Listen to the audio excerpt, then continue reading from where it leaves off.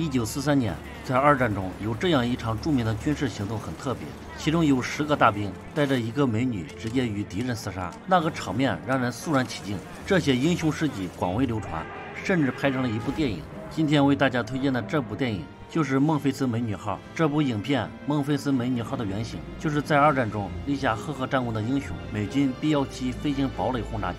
好了，我们进入影片。一九四三年夏天，欧洲空战愈演愈烈。五月十七日，在英格兰某机场，每天有上百名的飞行员在空中战斗。美军的飞行员驾驶轰炸机深入敌占区执行任务，回来的人越来越少。每一次返航都是重生，一架、两架、十五架、十六架，一队完成了轰炸第三帝国本土目标任务的轰炸机正呼鸣着返回基地。一位地面军官举着望远镜，一边数着返航飞机的数目，一边嘴里念念有词。执行任务的轰炸机最后一架带着伤慢慢着陆，但是就在着陆之后，还在欢呼的美军飞行员们瞬间停止了微笑。这架轰炸机突然爆炸，导致机组人员全部遇难。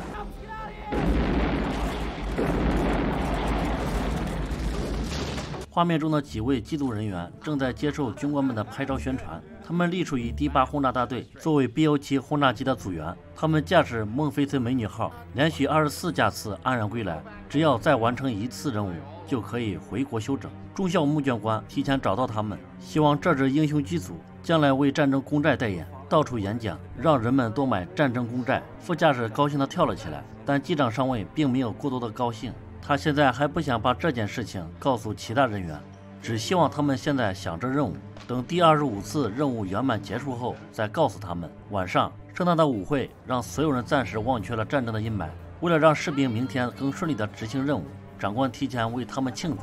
机长上尉走出了舞会厅，他甚至最后一次的任务还没有完成。这个时候是不是高兴得太早？有这样一个传说：机长有两个恋人。一位就是他在孟菲斯认识项链的小姑娘摩根机长，为了解决对恋人的思念，就找了一个人在轰炸机上边画了一个火辣辣的美女图像。后来他就驾驶着轰炸机，带着这个美女来到了欧洲战场。这个美女就是他的第二个恋人，只是没有温度而已。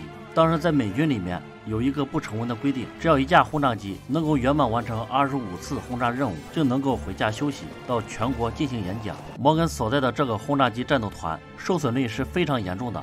就在摩根驾驶着轰炸机执行任务的头三个月里，他所在的这个团有百分之八十的轰炸机被击落，所以今天他根本高兴不起来。哪怕有一次被击中，也难逃一劫。第二天任务下达，目标是个处于敌占区腹地的军工厂。飞行员们听到这个任务之后，连连叹息：这将是九死一生。随后，孟菲斯美女号的机组员坐上 M 幺五幺吉普车，高唱着诗歌，开往停机坪。镜头中利用了实物拍摄。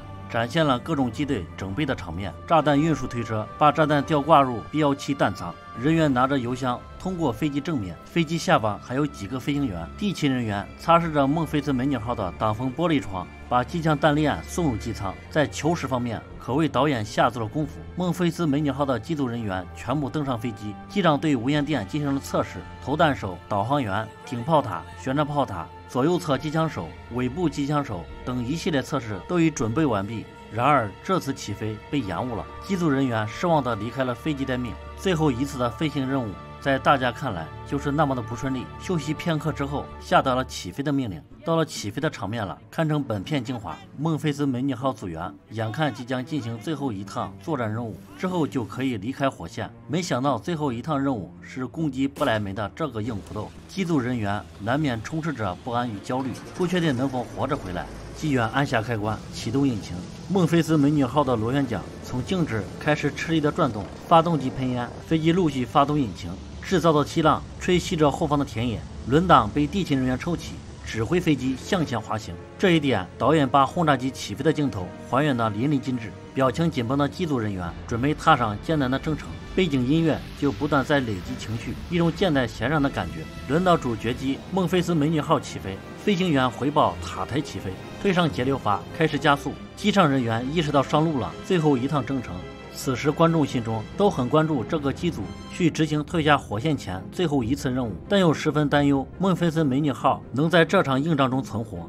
机长又让大家把机枪测试一下，吓得在机尾的机枪手突然精神了起来。孟菲斯美女号在厚重的云层中穿行，机长严密地观察着周围，但还是险些与前机相撞。任务还没有开始，就遇到了这样的危险事情。投弹官拆除了炸弹保险，各站位炮手警戒着附近空域。导航官报告，飞机已抵达汇合点，这意味着来自不同基地的机群已整队合拢，数百架 B-17 轰炸机凝聚成真正的空中堡垒。这时，在五点钟方向发现了敌机，护航的战斗机飞离编队，与德军的战机开始了厮杀。机长还嘱咐大家，在敌机进入射程之后再开火，别浪费子弹。敌机靠近了轰炸机，各机枪手寻找自己的目标进行射击。一架敌机被祖国母亲号的左机枪手打中，这架轰炸机是第一次执行任务就打下了一架敌机。这时，德军飞机攻击了领航机凤城号，受伤的领航机瞬间在孟菲斯美女号面前爆炸。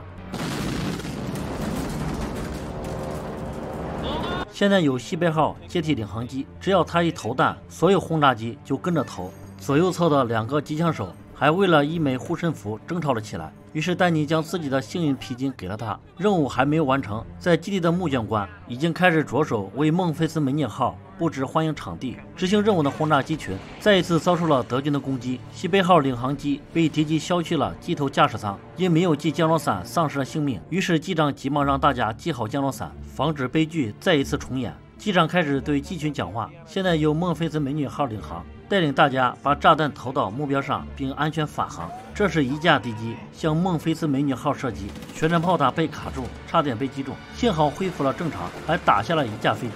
机群飞到不莱梅上空，防空炮弹比以往多得多。机长又让大家穿上防弹衣。这时距离轰炸目标还有四分钟，一发炮弹击中飞机，鲜血四溅，但没有人受伤，只是反舰舱被打破，而且左机翼被打穿了一个洞，燃料正在泄漏，于是转移了燃料输送。天气恶劣，云层密布，目标无法确认的情况下，机长为了保护无辜的生命和医院、学校等公共设施，不惧把死亡重新飞回，确认了目标。在这期间，敌机几乎会摧毁更多的轰炸机，被打落的一架战机直接撞上了祖国母亲号，导致飞机被拦腰截断。机组的人员就这样看着这架飞机坠落。在最后关头，观察员终于发现了目标，瞬间投下炸弹，随即后面的轰炸机也把所有的炸弹倾泻到目标之上。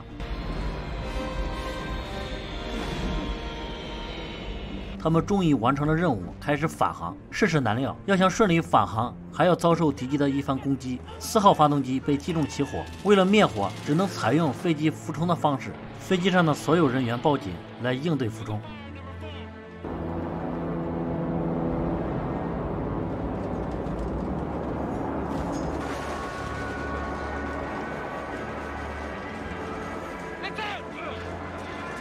在机长与副机长的努力下，终于把火灭了。一架架轰炸机开始着陆，但就是没有看到孟菲斯美女号。为了减轻飞机的重量，机长命令机枪手把机枪扔到海里。孟菲斯美女号已靠近基地，但一个起落架又出了问题，只能用手把起落架摇下去。就在落地的一瞬间，起落架终于恢复正常。至此，孟菲斯美女号机组人员无一人死亡，只有两人受了伤。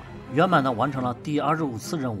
这架二战最为人所知的 B 幺七飞行堡垒轰炸机，就是蒙菲斯美女号，执行过二十次飞越德境轰炸的任务。期间换了九个发动机、两侧主翼、两个垂尾、两侧主轮及其他更多部件。它是好莱坞电影、新闻片、报纸、书籍和教材里的明星。这架历史性的飞机由位于俄亥俄州附近赖特彼得森空军基地的美国空军博物馆细心看护。这不仅仅是一架飞机，在它的背后是一群飞行、战斗、死亡在第三帝国上空英勇无畏的人。他和他的成员已成为欧洲空战的一部分。为了削弱强大敌人进行战争的能力，有五万两千架以上轰炸机用于对等轰炸，其中有数种美国轰炸机，最常见的是 B-17 飞行堡垒、B-24 解放者。本片以独到的视角，再一次为我们展现了二战时期惊心动魄的空战。身处和平的我们是需要铭记的。任何时候，鲜花和掌声簇拥的人，你永远也不知道他会不会有明天。有的时候奇迹会出现，但是有的时候最后一班可能真的是最后一班。好了，今天的电影就说到这里，谢谢大家的观看，我们下期再见。